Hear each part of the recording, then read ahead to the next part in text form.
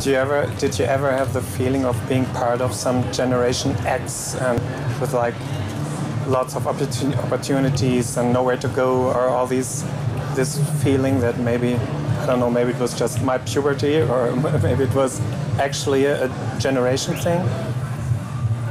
I, remember reading, you know, as a, as a fan of British music and, you know, the Kinks and the Who and reading, you know, about Tuesdays at the Marquee, you know, about the Who, and this is 15 years into them. So this is 1979. I'm reading about the Who, and I'm 14 or something, and I'm I'm sitting there and wishing, you know, angry at my parents for me not having been born a lot earlier, even though they would have only been, they were the same age as the people in the bands. But it was just that this, this is, I wish I could have lived during Hendrix. I wish I could have lived, you know, to be in these clubs to see The Who. I wish I could have been part of the mods, you know. And then, you know, years later, when this, I, I, do remember having this realization after, you know, the record was out and all of a sudden Seattle and this thing was happening and, you know, and I just moved up there and, you know, the year before the record came out or something. And I felt this community and I thought, like, and um, at this point I'm 26 or 27, I'm just like, wow, I think this, uh, we're actually part of something. Like I, I'm actually part of this thing. I, I, who knew? And it doesn't happen that often, you know. It doesn't really, at least not on that scale, for better or worse. But um, it doesn't happen that often. And there was a realization, you know, that we were part of something bigger.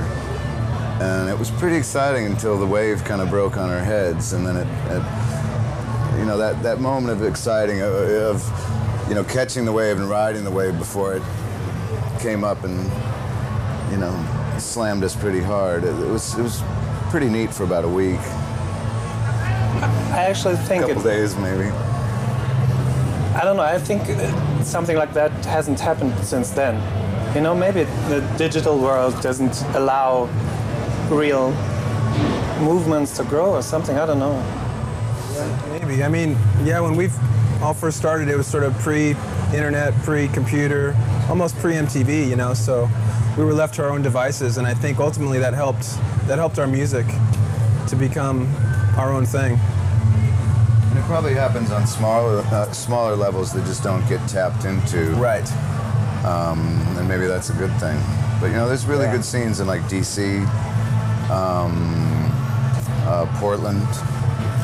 Yeah, there's a great new lo-fi scene in San Diego that I was, I've been reading mm. about. This band called Wavves. So, mm. you know, mm. it's out there now you you're re you have reissues of Ten and you have reissues of the other albums. Um, is that something you? Is that an idea that you really support and like, and you know, looking back again, or is it sometimes maybe even painful to look back too much? Uh, the only, you know, you just look at it as wanting to put out a piece of quality, you know, something of, of, of high quality that, that um, people can glean more off of than they remember from the, you know, offer them new things that they haven't seen before or heard before. And, and it's just, it's more of a quality issue that takes time. And, you know, outside of that, I think we are just about to start this, this record, this last one, when we were kind of working with the artwork and all that. So it's really just a, it's just a time thing and making sure it's it's you know the best quality as possible. You know, good vinyl and good artwork and um, you know because it does it you know and then we had to decide whether it was going to cost a little bit more and have because in order to make it feel solid it's going to have to cost a little bit more. And we you know it's hard. You have to make these decisions you know. Um, but in, ultimately i think we're proud of it. I mean i didn't listen to any of it but i certainly helped put the books together and all that. So you rather not look back so much?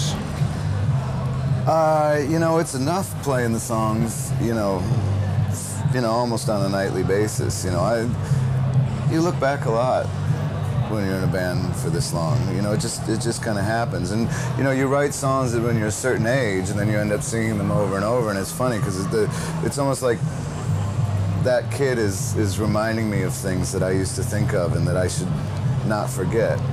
You know, it's like I was sending myself messages in a time capsule. Nice. That's awesome. Yeah, that's. I mean, for for a fan like me, it's, it's similar, very similar. So I couldn't say that the songs have lost their meaning or something just because I'm 20 years old. yeah. How is that for you? That's how it is with a lot of songs too. You know, you, you hear like protest songs. You know, you know, four years ago, what we've gone through with our country and the and the, the politicians who are representing us as American citizens. You know, it's very tough. And and and then you come across songs like, uh, you know, Masters of War or. You know these these Dylan diatribes, or a Pete Seeger song, or a Woody Guthrie song. These were written, you know, almost hundred years ago. Some of them, and it's absolutely applies to what happened in the last, you know, few years, and in some ways it's still going on. So sometimes it's a shame, you know, when you sing something like Masters of War, you play it, you you just you wish it lost its relevance, or you can't wait for the day when it loses its relevance, you know. The other thing, it's an incredibly long song, and you just don't want to have to remember those words anymore. to look into the past one last time, um, I'm wondering if um, if the mid '90s maybe were the, the hardest time for the entire. I mean, maybe something died when Kurt Cobain died. Maybe it was just too much, too much commercial pressure. Yeah, I mean that was sort of a galvanizing, you know, uh, time when the air was taken out of everyone's sails. You know, it really, you know, it's like it was just such a shock, and um, it made I don't know, made me rethink some things about you know what I was doing, but it never I never really lost focus of you know why I was doing it personally, um, but. Uh, yeah, I suppose you know you could pinpoint that that event as you know one one you know one reason why some of the bands started to implode, but there there was a a variety of reasons. You know, it wasn't it wasn't just that, but um, it was certainly. Uh, Pretty, a pretty tough time because we lost you know we lost a really good friend and and it happened in such a violent way and everything and so it's just there's always questions when that happens, and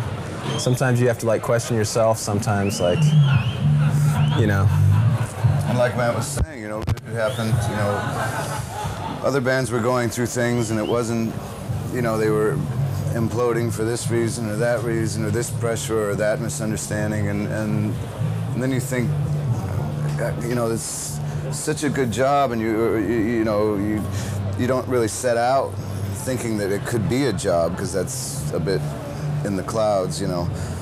But to you know, do this thing that you love that's your lifeblood. It's the one thing that's kind of been yours all your life and almost like a religion or, or you know, like a parent's love. You go to mu- music for comfort and strength.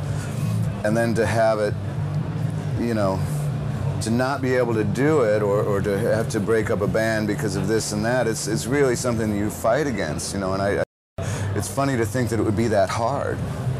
And I think that, um, you know, if, if why how could music be so hard how could making music and surviving as a band and communicating with people and how could it be so hard apparently it is. Um, and you know what you said before too about freedom and having freedoms whether it's with in how we distribute music or whatever. That's the other thing it's like if you can't have freedom as a as a musician or as a, as a kid who grew up wanting to be in a band and then gets to be in a band and you know if you can't have freedom then like who can? You know what about the plumbers they're totally fucked. You know or what about other jobs? But I don't have to be a hero for an entire generation and carry Well, so we much. don't either. I mean that's not it shouldn't be that. It's the music. It's not the people right? So it's just you know we're to the point where it's like well if, if, if you can't have fun and be in a band and if you can't like have feel like you're free and be in a band and and if it can't feel easy at least sometimes then it feels like everything's fucked you know it's like we're being a musician is almost like a barometer of it's like the canary in the coal mine. If the, if the musicians aren't having a good time, the whole planet's fucked.